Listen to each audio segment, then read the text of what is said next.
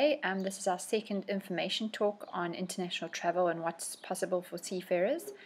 And we just wanted to update everyone after our last chat with um, with our experts.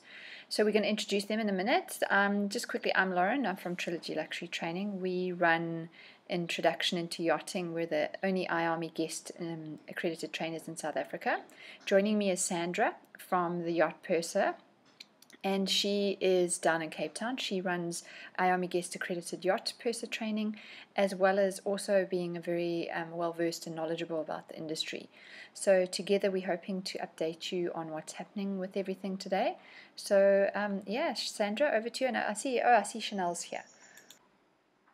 Yeah, Chanel's from the Virtual Yacht Assistant. She is great with CVs and with information into getting into yachting. She also does a wonderful um, talk about exit strategy and financial planning. So, welcome, Chanel.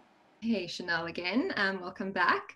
And yeah, I guess the purpose again today, uh, you know, is people have had a lot of questions. So it's just to also introduce you guys to um, some of our travel experts. And, you know, you are able to ask some questions later. And we will be covering a few topics surrounding travel in the EU, you know, getting getting out of South Africa, um, you know, some some visa information.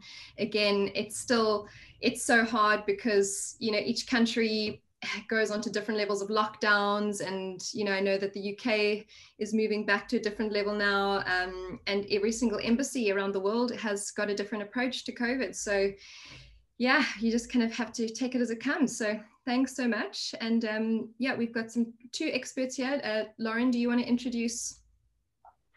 So yeah, we've got um, Lara coming back. She's joining us from South Africa this time. Last time she joined us from Italy. And um, Lara is our um, travel expert, and she's going to give us some information about what's happening now since the 1st of October, um, what's changed, what's possible, um, etc. So, Lara, I'm going to hand over to you um, if you want to introduce yourself and, and just update us on what's happening around the world with travel at the moment. Yeah, so, you know, I'm Lara from Lara Travel. I'm sure you've just heard. I'm not talking to you from my car this time. Um, so yeah, I mean, I wish I had more concrete information, but it looks like the new new way of traveling is really just everything is continuously changing, continuously transient. So I don't think there's anything firm.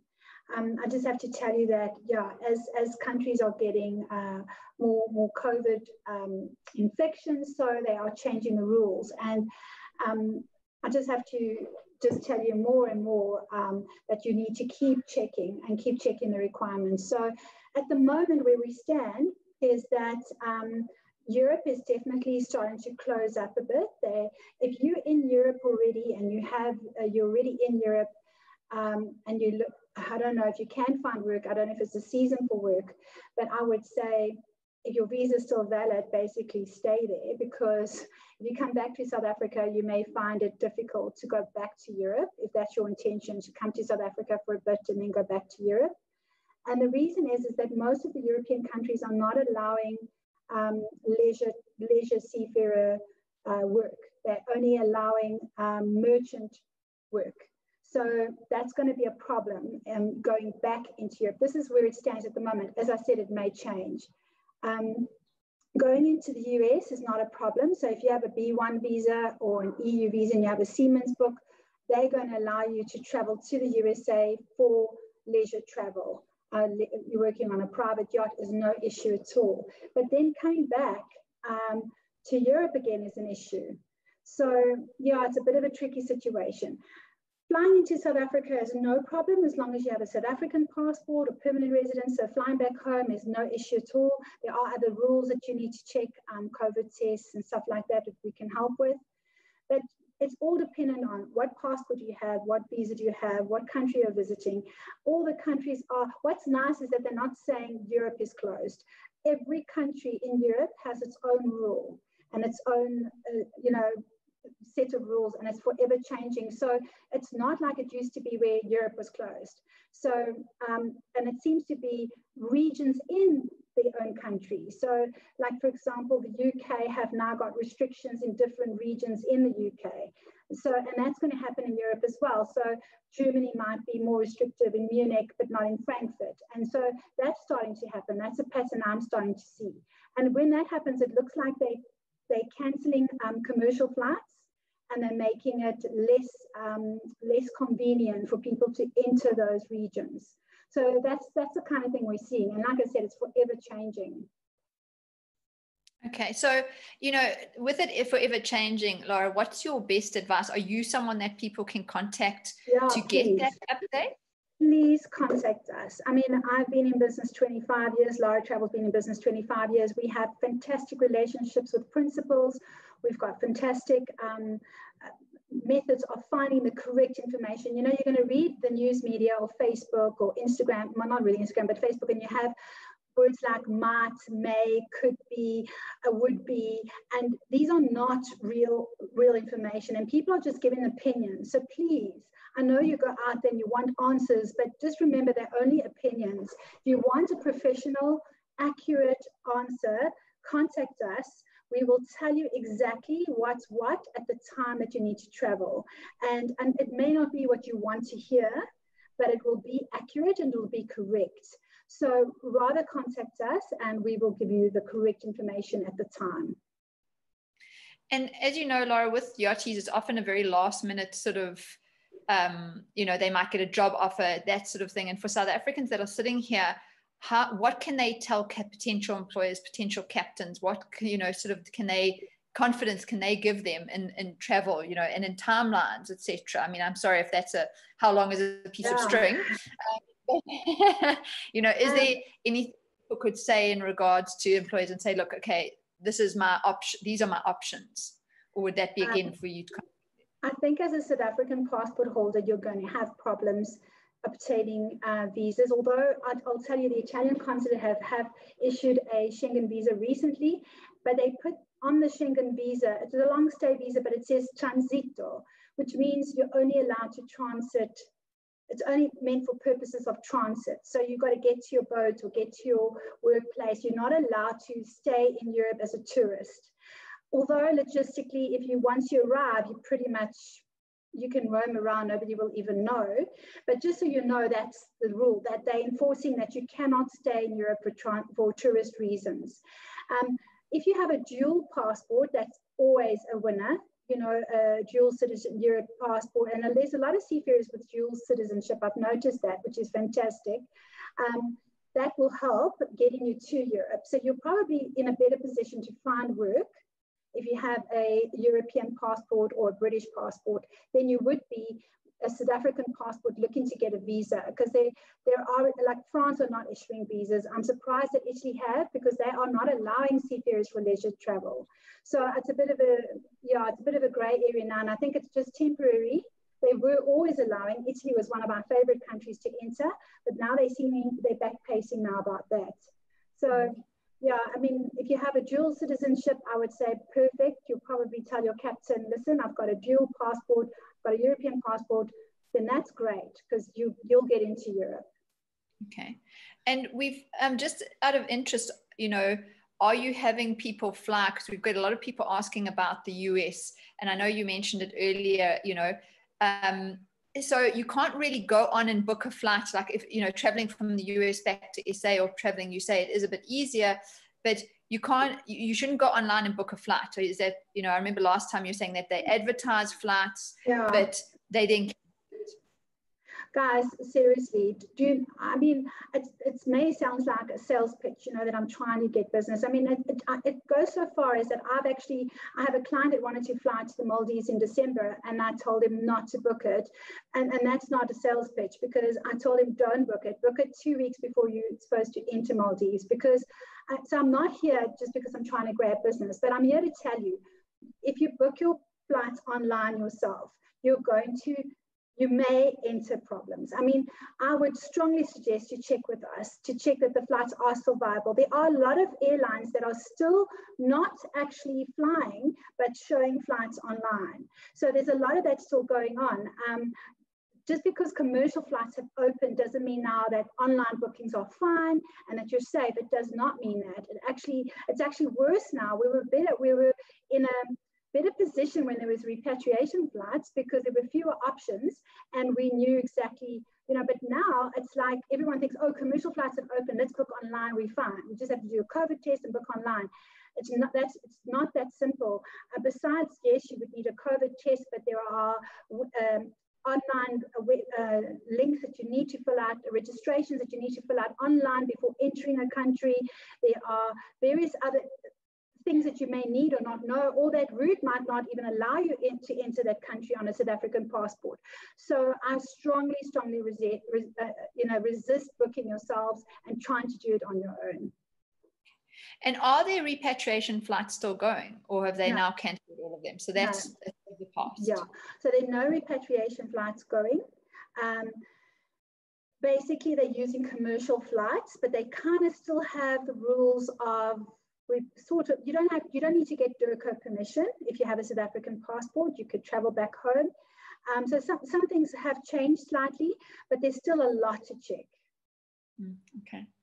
And um, in regards to COVID tests and quarantine, what mm. you know, there's a lot of talk. You see it on the Facebook groups, and um, as far as I understand it, my husband arrived back on Sunday. He had to have a COVID test 72 hours before he arrived. He did that, and he came through fine. They looked at it once here in Durban Airport. Um, mm. Is that you know is that the standard now? What is what the what the rules are? yeah, it's, it's not really the standard. So the majority of them are saying 72 hours before. There are some countries that are asking 48 hours before. So, so it's not a standard. So don't just assume that 72 hours, like I said, the majority is 72 hours before. Some countries are asking 48 hours before. So it's not a standard rule, but it is a standard really that you need a COVID test done. Yes, that's that seems to be the stand new thing that you need to travel with a, a negative COVID uh, result. Okay, perfect. Um, Okay, I think that's you know that gives some really good insight to where it is. As, as, you said, it's maybe not what everyone wants to hear at the moment, but at least we know where you're standing. And you know, Jackie's going to touch a bit more on the visas now. Um, you know, Sandra and Jackie are going to chat a bit more about the visas. I think Sandra wanted to ask something because she kept. yeah, yeah, and actually, Lauren Lauren asked it. Um, it was it was about the repatriation flights and oh. and booking and you know the I, I mean, again, I, I saw it so much during during you know lockdown and stuff. People trying to book flights, paying money, losing money, and you know, my advice as an ex-yacht purser is just to always go through an agent. You know, I also I'll be introducing Jackie now, who I've used SA Yachties for my crew for visas, even though, yes, I can apply for a visa myself. Yes, I can go and do all of that. Absolutely. But I you know, we chose to go the route of using an agent. I actually got a much longer visa. Um, and you know we're able to follow the correct procedure. So I'll introduce Jackie Jackie in a moment, but um, just in terms of like the flights, I know with a lot of people I've recommended them to go to to various different travel agents, including yourself, to book those flights and just had a much better result. So you know, again, it's just it comes down to risk. You know, yes, it might be cheaper to book a flight online, but then if you lose that flight, then you've lost all your money versus paying a little bit of extra money, getting the advice, knowing that your money is safe with that agent, you know, because they do have the up-to-date information. And unfortunately, regulations are changing all over the world. I mean, I don't know how many countries we're dealing with, but every single day they're changing and going, you know, to different mm-hmm. levels. So it's worth paying that little bit of extra money knowing that you are safe. True. So, Sandra, that's perfectly right. And I just want to mention that try use a reputable travel agent because that's also, you know, we're not all we're not all the same. And um, and, I, and, um, and, and it's also, I mean, I'm going to pass business to Jackie as well because we we prefer to deal with professionals as well that know what they're doing, that have been in this in the in the game for a long, long time. Um, uh, you know, so yeah, just deal with someone you know is reputable that that has been in the business a long time and know what they're talking about. Because the other danger is just um, phoning any number or just getting through to anybody, and you're not actually sure if they they just try and to be after the sale or if they're actually, you know, worried about your best interest. Yeah. Yeah, yeah, absolutely. So, yeah, I wanted to actually introduce Jackie now from SA Yachties, who, I mean, gosh, SA Yachties is a company that I've been dealing with for a very, very, very long time. They've been around for, gosh, um, so many so many years now. I actually started my my yachting career with um, yeah Dave Pott. Uh, back in 2006. So yeah, um, welcome Jackie from SA. So if you don't know, SA does assist crew with applying for their visas and their Schengen visas and um, you know, Jackie can explain a little bit more now about about the process and what is open and you know what they're dealing with now in terms of the different embassies and and the routes to go. So welcome Jackie. Thank you for being here. Thank you so much. Um, and thank you for the introduction and for the invite. We really appreciate the platform as well. Um, I suppose following on what Lara has said about travel, the same applies for visas to a certain extent. So I'm going to start off with the, embassies, the embassies that are currently open in South Africa. Um, and again, I'm going to be centralizing my info on seafarer visas, no tourist visas from our side. Um, but the French consulate are open and they are issuing seafarer visas. Um, the Italian consulates are both open. Spanish consulate in Cape Town is open. Pretoria Spanish consulate is not at this stage, which is, you know, the consulates are run by two different visa heads. Each have their own approach to visas and their rules that they have. Um, but the Spanish consulate in Pretoria, we've had no luck with at the moment. Greek consulate in Cape Town open, Greek consulate in Joburg closed, German consulate open, and the Netherlands are still closed for seafarers. Um, all of these embassies are issuing visas to crew who are employed. So anybody who doesn't have a job cannot get a visa to go over and look for work through the French consulate, as they are the only in, the, the only consulate that issue that visa, allowing people to go over and look for work legally. Um, so only employed seafarers at this time. And my colleague in Cape Town, Nanette, so for all our Cape Townians, we'll deal with Nanette. I head up the Johannesburg jurisdiction, and both consulates, well, in the different cities, operate slightly differently to each other. Um, and that goes the same for the processing time for visas as well. Um, you'll find that the French consulate in Cape Town take two weeks to process currently, and in Johannesburg, they're taking seven days, one week. It's just it's just slightly different. Um, yeah, but as for embassies that are currently open, we are we are doing business with them. They're only open once or twice a week, depending on the consulate. The French are open twice a week, Spain once a week at the moment, um, and Italy in Johannesburg have just opened up their second day. So they are operating on two times a week, a Wednesday and a Friday for visas. Okay, amazing. Thank you so much, Jackie. And in terms of, you know, what what paperwork are they looking for? You know, besides besides the usual discharge books, passports, letters from the captain, insurance, um, application fee, passport photos, all of that kind of stuff. You know, are they looking for anything different um, to process the applications at the moment? So there's nothing out of the norm. I mean, we send out our checklists depending on whichever consulate our clients are applying through.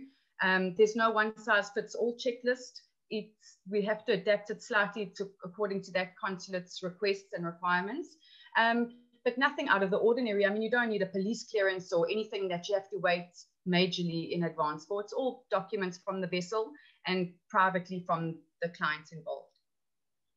Okay, okay, no, that's great. And um, just in terms of you know the number of visas that you are processing at the moment? I mean, do you have are you seeing a lot of movement in, to, in terms of crew just trying to get back to work? Um, you know, being employed. Obviously, that's it's only for the employed seafarers at the moment. I mean, are they are people able to get them and get out and? So, I mean, we are picking up speed again, thank God, because it was a really close call, you know, to almost calling it quits after COVID, because with embassies closed, and you, that's your primary business, you know. But the French consulate have opened. We're doing a lot of visas through Italy. We're doing a lot of visas through Spain. Those are the three common um, consulates that we're working through. And we are assisting crew who are currently in South Africa, who are needing to join their vessels. And we're assisting crew who are currently on their vessels in the EU through all three of those consulates. So it's a, it's a really big relief at the moment that we're able to do that. Um, this is not standard procedure for the French at all. Um, however, they are allowing it for a limited period to help crew who are on their vessels in France need to prove that you're on your boat in France in order for you to be able to submit your visa via proxy. And when time's up, time's up. We don't have an end date for how long they're going to allow this for. Um, right. But when they call it quits, you will need to return back to South Africa to apply in person. But for Italy and Spain, we can do these proxy visa applications while crew are on their boats. So um, just just regarding the proxy visas, like what is the process for that? Do they have to send their passport? I mean, I know you have offices in France as well. Um, how, like, do they have to send their passport there, or how, how does that work? Yes, so that's exactly what the proxy application is. Um, the your paperwork once we've done our checks and the file is complete, paperwork and the passports are couriered to South Africa for processing, um, okay. and couriered back to the crew member on their boats. Uh, but we facilitate that courier service. Um, they would need to stay on their vessels with their seaman's book and right. four certified copies of passport and previous visa. And um, yeah, and then it's just, you've got to, you know, well, we advise always for our clients to chat to captains to allow this process to be done when it's convenient and when the boat is stationary. Because right. on charter, it's not really an ideal time to be without your passport. And we we don't ever recommend that. Yeah.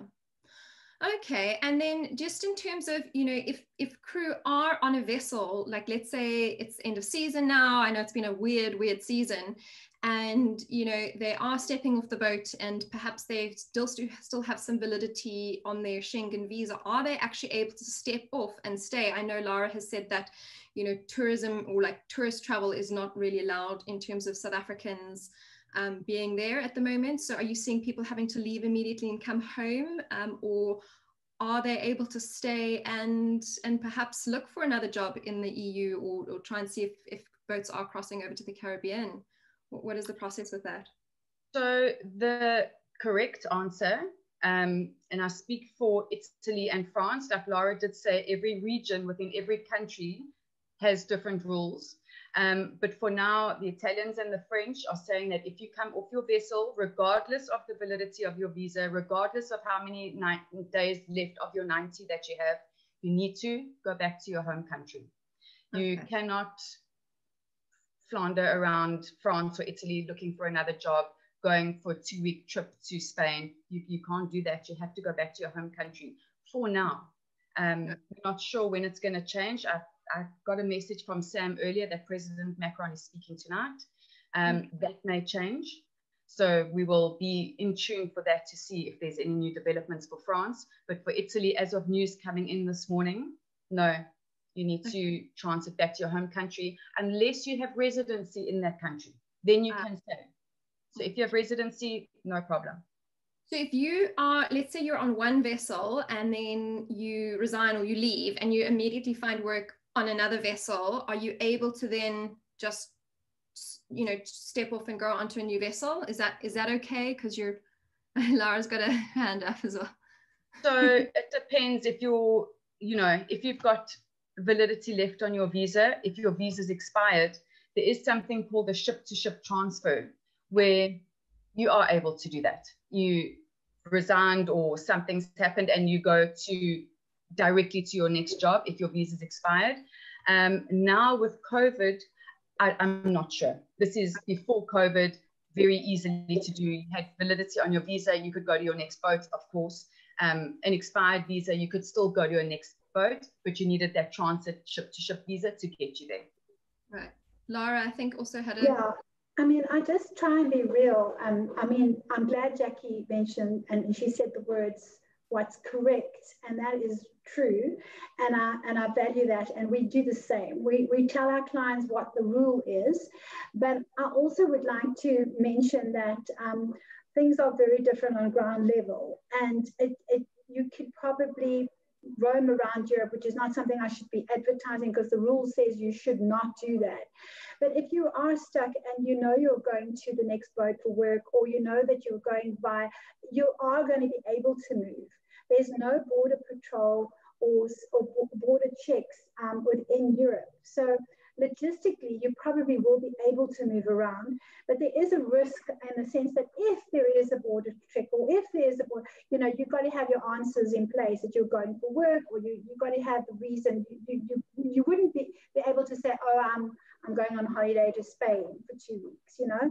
So, but, but logistically, because I think it's important to know that it is possible to move around Europe without anyone checking up on you. So if you are really crazy and you're worried about getting to a certain point, you can do that within Europe, uh, within the Schengen states, without actually being stopped.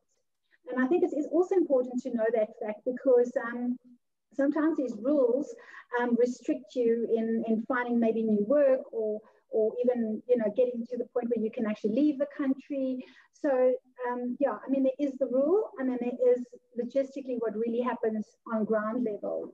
But remember that things are always changing. So they might do they might face border controls or you know between countries that are high risk or so that could happen as well you know? I think that's you know the, the the whole issue with giving advice is that we can say legally what you're supposed to do what you choose to do with that information is up to you. You know at the end of the day i do know loads of people who are able to go over there and get friends to give them letters and and you know enter into europe and find a job. But you know again just because somebody has done it and it, nothing has happened to them and so you know people give advice oh i'm i was totally fine i was totally fine yeah no problem absolutely.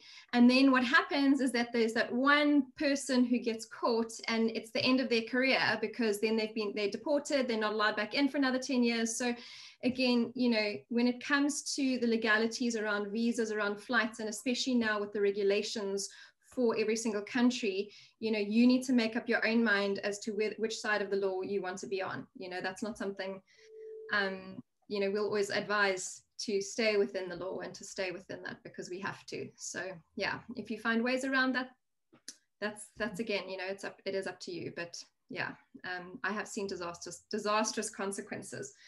Um, okay, so you know, just in terms of um, you know the yeah, I, I don't know for for the actual like visas for um for Europe, I don't know if anybody has some more questions. I know that there were some some people asking about the US visas, which again it's it's another tricky thing. And I know you don't specifically deal with the US visas, but um do you have any information on that? I, I do have some information that I'm happy to share that um, you know I've, I've been told by other people and also on the ground and watching some other webinars this week. So um, yeah, please do share your information. Um, I was telling La- Lauren earlier that SA Yachties yeah.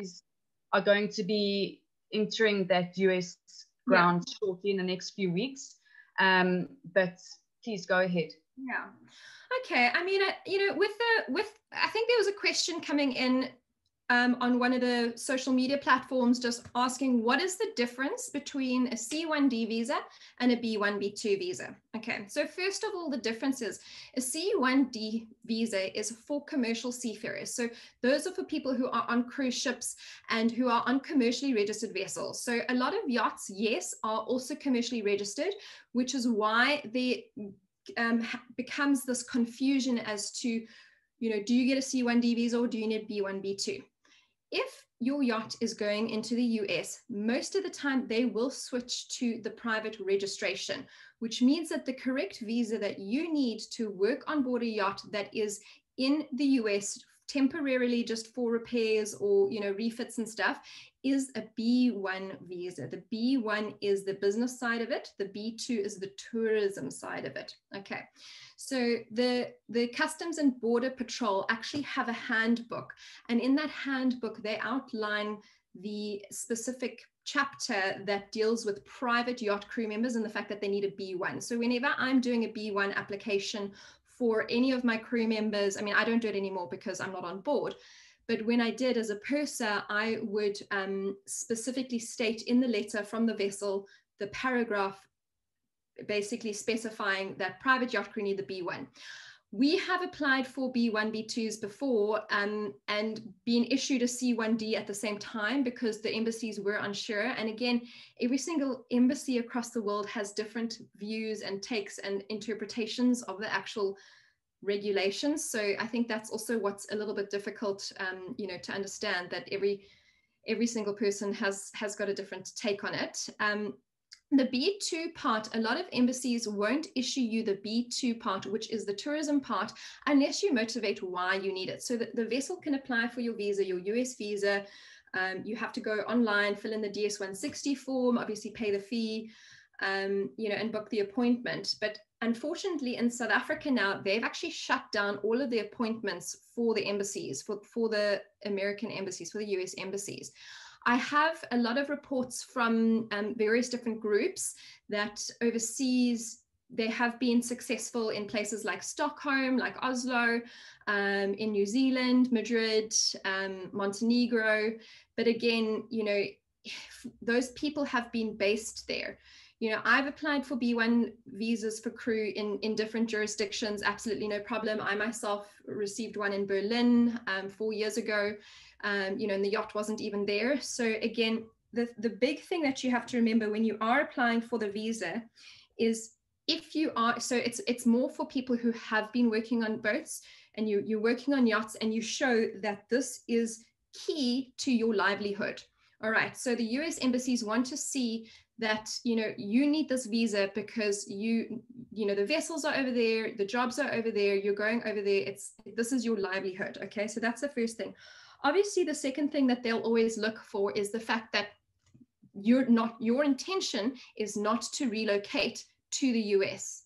All right, so showing that you have some ties to your home country is absolutely essential, whether that's a mortgage, a car, family, I don't know, you know, um, a bank account. They want to see that you have ties to your home country. Um, so, you know, again, the the information on the on the embassies that are open is also changing all the time. All right so some of them were open and now they've closed down. You know a lot of embassies around the world are very open to yacht crew members because they know you know they process them all the time so they know um, that that crew do go over. Obviously again you know we did reiterate in our last call looking for work in the US while you are in the US is illegal. You know unless you have a green card unless you have a US passport um, you know, I, I, was listening to another webinar um, talking about should crew go over there, should crew go dock walking. Obviously, with COVID and social distancing and, and, and all of that, even the recruitment agencies are just saying, do not dock walk. It's been seen as a very big no-no at the moment. People are going online, people are going virtual. So I know we had Alex from Yachty World on here last week, or the last um, call that we did, sorry. And, you know, they've had a lot of success with the virtual dock walking and and making connections like that so you know again looking at your online presence looking at you know how you can connect with your recruiters online picking up the phone you know even if you are based in south africa you can't call overseas there's this great app called Skype. You can buy credit on it. It's really, really cheap and it doesn't cost that much to pick up the phone and call some recruitment companies in the states in the in the um, you know in europe and form that personal bond and relationship with them. Okay. So if you are looking to get a job that is my number one piece of advice right now. Start picking up the phone. They get hundreds and hundreds of email a day. If you are proactive enough to pick up the phone get them on the call, form a relationship with them. That's always going to put you way ahead of all the other applicants. Follow up. You know, if you've had an interview, follow up, say thank you. All right. So those are just tiny little etiquette tips that will really, really help you with your um, with your job search.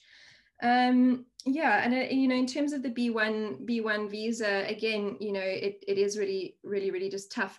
Any update on B1 visas and when we may be expected to be able to apply in SA again? I have a friend who has an appointment in February only. That was the first appointment that they could get with the um, US Embassy in Johannesburg.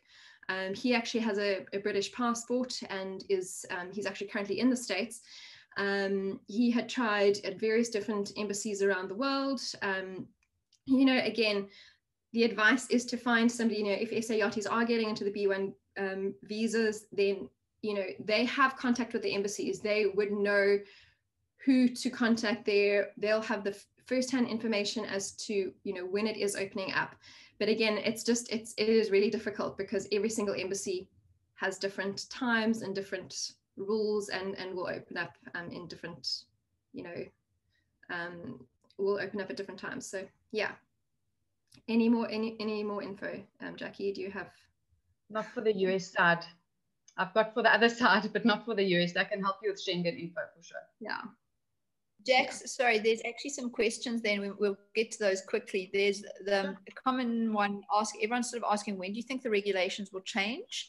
Um, and when will you be able to help with visas from this is from Mika. Um, will you guys be able to help with visas for green crew or do you only help with visas for people that are already employed? Ah, of course we help for green crew. Um, but there no visas being issued for green crew because that falls under a tourist visa category. Um, and there are no tourist visas being issued. Only the French consulate issue a legitimate visa to allow a client over to go over and look for work. Um, and they they're not issuing tourist visas at this stage. We have absolutely no idea when that's going to open up. Unfortunately, there's no indication. Um, I, I, can't answer that question. But as soon as they open up, Green Crew, of course, would be able to go over. And Jax, sorry, Sandra, I'm jumping in here. Jax, is there anywhere that you will announce that that people can follow? I mean, have you got it on your Facebook? Um, is it that the best place for people to follow you on Facebook and or Instagram? And will that announcement be there?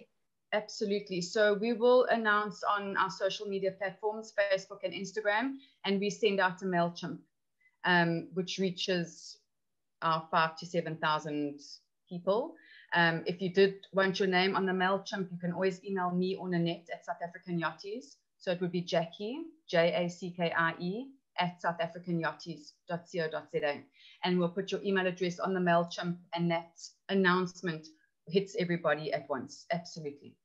Perfect. We'll um if everyone and I forgot to ask at the beginning, if everyone puts their email addresses in the chat for me, I will send everybody a recap of this email end um, with everybody's contact details, with Jackie's contact details and Lara's contact details for for you as well.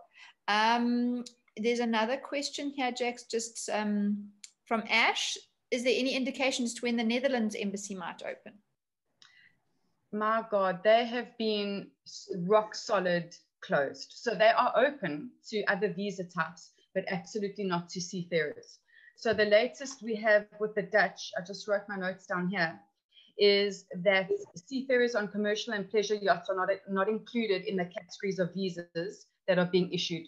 So you may only transit through to the Netherlands. If you're flying into Amsterdam to fly somewhere else, that's fine, but you cannot join your boat in the Netherlands at the moment.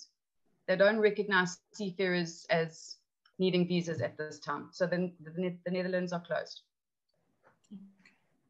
Um, so hopefully that answers your question there, Ash. If you could just give us a quick little yes, thank you in the chats there. Um, and Mika, sorry. Oh, there you go. Thank you. And then I've got from David here, is there any, is there no way of getting experienced crew visa? I have three years under my belt and have missed out on a ton of opportunities due to the fact that my Schengen visa expired. I see that Cyprus is under the green list at the moment for tourist travel would it not be possible to apply for Schengen through the Cypriot embassy? So, Cyprus, you need a Cypriot visa. It's not a Schengen visa in order to enter Cyprus. It's a different consulate, different embassy that is not processed through the Greek consulate at all. Um, just to understand his question, he's got his experienced crew, but right now is he unemployed? That's what I understand. Is that right? Um, where's David? If you, if you can unmute yourself quickly and just answer Jackie, please. Yeah, he said that's correct. Yeah. Okay, he so, said yes. Unfortunately, you know, he falls under that category of needing to wait for the consulates to resume processing for those visas. Sadly.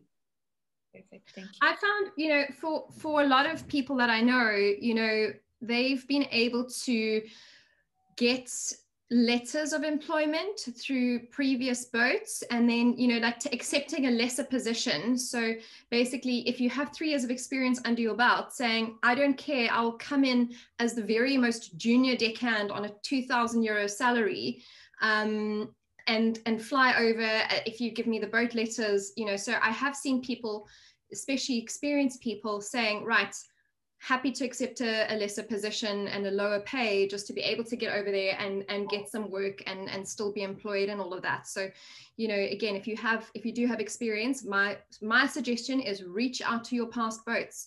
You know see if anybody needs a totally green but yet experienced deck cat. Like even if even if it's not the position that you want right now all right sometimes just having something is better than sitting at home with all the expenses and having no money you know? So um, again it's just really what you are what what are you willing to accept? You know you are you yeah.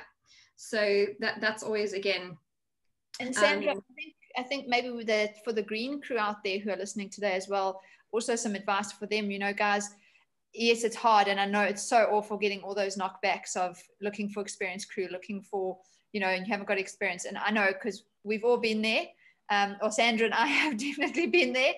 And it is hard. But guys don't you know i've had two girls three girls now who came through my course this um, this year who've now flown out to jobs.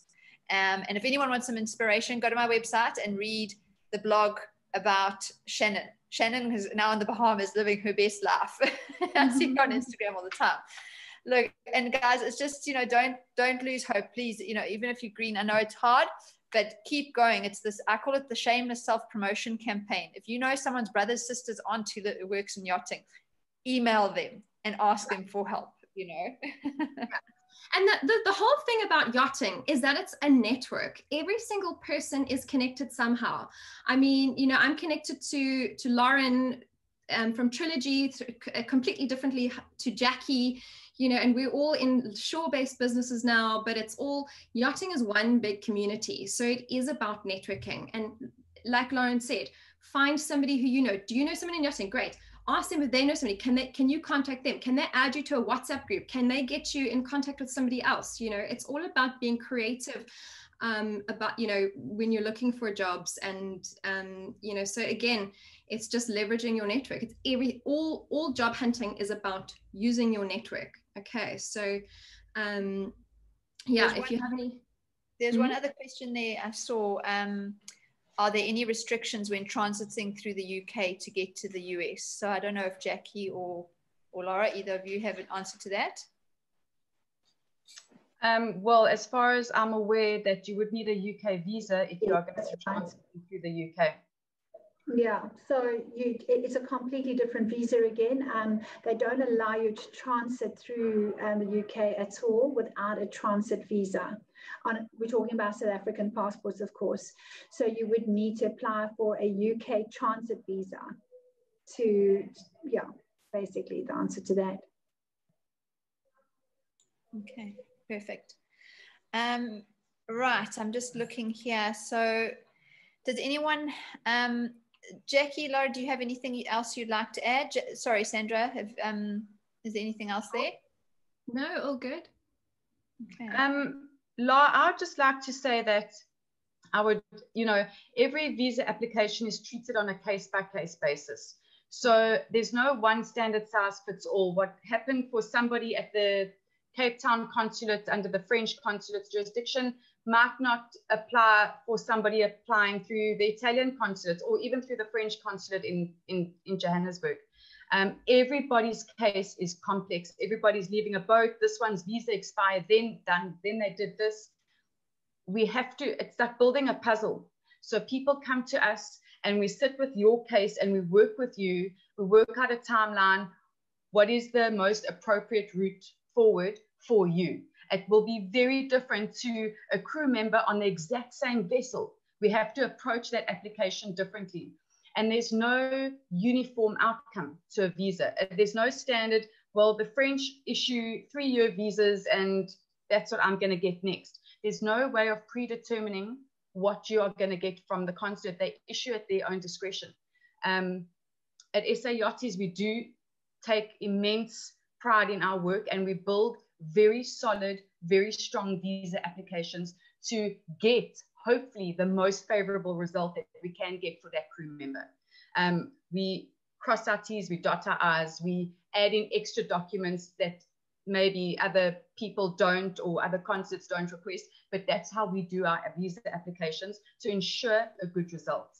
Um, you know, we've never had a denied visa on our books because we just we we try and we stay updated with information and we don't cut corners and we don't lie to the consulate. That's a really big thing. We've been approached quite recently now with fudge documents and if I can get a crew contract from a boat that I worked on last, they said they will help me with boat papers. It doesn't work like that. We're not the right company. that's what you want to do. We are above board. Our relationships with the consulates are solid and they've been solid for years. And that's how we like to keep things. So we are mm-hmm. very much above the board, transparent, come to us for information, use us for a visa, invest in the process. Like Sandra was saying, mm. yes, you can very easily do the visa application yourself. You can phone Capago, you can get the checklist from them. It, it's not a problem. But if you wanted the most hassle free way, stress free, the easiest route to the finish line, invest in a reputable agent who knows the rules, who knows the regulations, who deals with these professionals on a daily basis and has the relationship building behind them. That, that's my advice. Um, could I just add to that? I mean, Jackie, you said it perfectly. Um, I just want also to be honest with your travel agent or to your uh, visa application agent, um, to be honest about your circumstances. Don't try to fix things or have a plan, you know, of your own agenda, thinking that you're going to, uh, you know, because you're just actually doing an injustice to yourself. So rather just be honest, say what you want to achieve, and we as professionals will tell you what you can and what you can't do. And there's also ways of doing things legally that are correct, that aren't, uh, you know, being, um, you know, not having to put fraudulent or try to do funny things, but to actually do it legally correct. And we have we have the experience to know how to go about doing that. So rather just be honest with your situation, tell us what you want to achieve, and we will tell you what's legal, what's legally allowed, what you're legally allowed to do. And uh, yeah, and I think that's exactly right, Jackie. Um, I think it's really, really great that we have this platform. I think it's fantastic if people start using professionals and people. I mean, I, I, I think it's great. I, I, would support Jackie. I would support a professional as a travel agent um, because just knowing that you're dealing with someone that's had so many years experience and knows exactly how and how not to do things um, it, will save you money in the end. That's that's our, that's what I believe in. So I think this platform is fantastic, and if we can encourage more and more people to actually use professionals and see what we're worth, and I think this is the time where you where you'll you'll notice our worth because it's not just, it's not so easy to find the correct information as it used to be. So yeah, I think this is a time where people will experience the difference between doing it on your own and doing it with a professional. And once they get a taste for it, they'll realize, especially professionals that care about their clients, that care about their reputation, that care about the job that they're doing, you'll find that there's a huge difference. And I don't think you'll ever go back to booking yourself alone again. That's my opinion. I mean, for me, just in my in my life, I book through travel agents for my flights. I was meant to go to Fort Lauderdale this year, and um, my, my the flights were obviously all cancelled. And I, I always book refundable tickets because that's just you know. So and thank God, I've just had been reissued all of my my money back, which is amazing. So, you know, again, thanks so much, guys, for for sharing the information and for for you know really just assisting and you know again I can attest to to SA yachties. I mean, I used them on the boat that I was in on like literally documents this thick, you know, making sure that you have absolutely everything. Um, so again, you know, for me, it's just I would rather know that I, uh, things are being done correctly. Um, I think we've also got another question here with uh, regards to the discharge books or the Seaman's books. Um, Jackie, are you still assisting with um, the, the Seaman's books applications? Can they do that without having the employment contract? Can they do that? Because I know. So yes, we are. We assist through SAMSA in South Africa. Um, and through most of the island flagged vessels, so Cayman Islands, UK flagged, Marshall Islands as well. Um, you do need a work contract or a letter of employment in order to apply for a Seaman's book. It's just, it's one of the requirements. You can't apply for a Seaman's book if you don't have a contract. Um, and on that note, I also just wanted to mention that for any crew who are employed, who still don't have a Seaman's book, my advice is to get one because we see a lot of that. You know, boats always come with unrealistic timelines and phone calls and franticness. I need to join my boat next Saturday um, you know, do you have a Seaman's book? No. And it takes two, three weeks to get a Seaman's book processed. Sometimes, if we push really hard, we can get one in a week. Um, but if you don't have a Seaman's book, get one if you're employed. So when it's time to apply for the visa, there's no delay on the Seamen's book side. But yes, we can yeah. help with the flag state of your vessel or through South Africa? Very good point, Jackie. it made our lives so much easier when people had a Seaman's book, especially during uh, repatriation time. And um, it definitely opened up more avenues and doors. So I, I said that on the last uh, meeting we had, please get your Seaman's book if you can. And uh, yeah, as, as a travel agent as well, it made our lives so much easier. Yeah. And just if you have, so again, you know, if, if you are currently on a vessel, you need to apply via that flag state. So if you are in a Cayman flag vessel, there are forms that you can download. It's a very, very easy process. Um, it's all done 100% online. You have to pay a fee. Again, generally the vessel will pay the fee for you and they should be doing that. Um, and then they issue that you that discharge book and send it the hard copy to the actual vessel. Um, but again, you know, for you to be recognized as to have seafarer status, you actually need that. And in fact, if you are traveling on the yacht to certain countries, um, we were required for every single crew member to have a discharge book to clear in as a seafarer. All right. Otherwise, I had to come on on the passenger list, which was, you know, huge problems for the vessel if we only were allowed 12 passengers on the boat. So, yeah. Okay. All right. Well, I I don't have any more information at the moment. Um, yeah. I think um, I don't see any more questions. I'm just having a look there. If anyone's got any more questions, please um, pop them in quickly now. And also don't forget your email address if you want to receive um, the link to this. Ah, Chanel. Chanel, mm-hmm. um, do you want to unmute yourself and ask a question, please? Hi guys, how are you all doing? Hi, Chanel. Um, quick question. So South Africa has a high risk list of countries. And if you are flying from one of those high risk countries that are on the list to South Africa, will you still be required to quarantine or will the negative COVID test be sufficient? I can answer that uh, firsthand. Uh, I flew from a high risk country recently, last week. I flew from Greece, which considered a high risk country, with a South African passport um, and a, a, negative COVID test.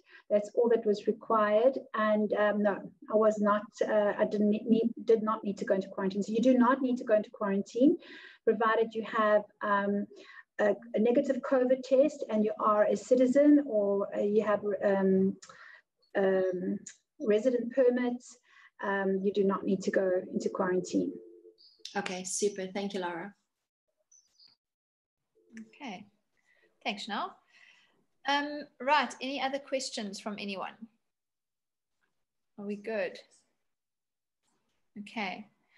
Um, well, I'd just like to say thank you so much to Jackie and to Lara for joining us today. We really appreciate your time. We know how, and to everyone else who's tuned in to listen today, we really appreciate everyone's time. Um, for we know how busy everyone is. I hope that this has been informative for everyone. Um, as I said, we'll keep, and between Sandra and I, we always um, trying to keep everyone updated on what's happening and what's where everybody's is. Um, but please, yeah, feel free to reach out if you've got any questions reach out to Jackie, reach out to um, Lara. I'm going to share their details quickly now on the screen and you'll see they um, just being technically challenged there. Can everyone see that? Have I done it right? That looks good. um, so as you can see, there's everybody's details there. Um, guys, we just want to help. We want to help everyone get to, you know, where they want to be, whether you're new in the industry or whether you are um, already an established crew member. And yeah, please feel free to contact any of us. As you know, Jackie for, for um, visas. I know that SA is incredibly busy, and I've had people say to me, oh, they haven't got back to me. Jax, how many emails do you get a day in your inbox? Hundreds? I mean, Lara, between the nets and our close, yes. Yeah. And we do try um, get back to people as soon as we can. Uh, I think you know, sometimes one gets lost in, in 10 days and then it's a real big story. Um, but for now, even I've put an out of office on, I've got so many balls in the air and visa applications on the go that it's just, I need to breathe, regroup. And Thursday again, I open my doors to allow new inquiries in. So we are busy and we do desperately try and get hold of everybody. But, you know, we are only two people, I guess. Yeah. So, and I think my, my, um, takeaway there is please be patient and and realize that people are are um, are humans as well. So they, I know that SARTs does a lot of work, and and I know that Lara as well. So, but guys, we're here to help. We do want to help. So please be patient. And and if you haven't heard it, like Jack said, every now and again maybe one drops out. Just to do a little polite follow up me- message. But guys, work really well with me. I, I actually enjoy the follow ups because it's me going again. So thank you. Work. And um, yeah, we just want to say good luck, guys. You know, don't lose hope it's you know the the industry's alive and kicking it's just getting yourself out there um, we and running a competition at the moment just you know Trilogy's running a competition where you can win in a one-on-one chat with Sandra um, you can win a um, chat with Chanel, who is um, you heard speaking just now, and she does financial exit strategies for yachting, which believe me is a very important thing to do. Um, also, a stewardess course. You can also win. There's an ultimate ebook to getting into yachting and a CV toolkit there. So, guys, go and have a look. Um, you know, these are we we really want to here to help you guys and and support you getting back into the industry. Um, so please keep in touch with any questions. And yeah, as I said, hopefully this has been helpful, and we hope that you all have a wonderful, wonderful rest of your day. So it's goodbye from me, Sandra. If you want to say bye. Bye. Thank you, guys. Ciao. Thank you. Bye. Okay. Excellent. Thanks, everyone. Have a great day. Bye. Bye.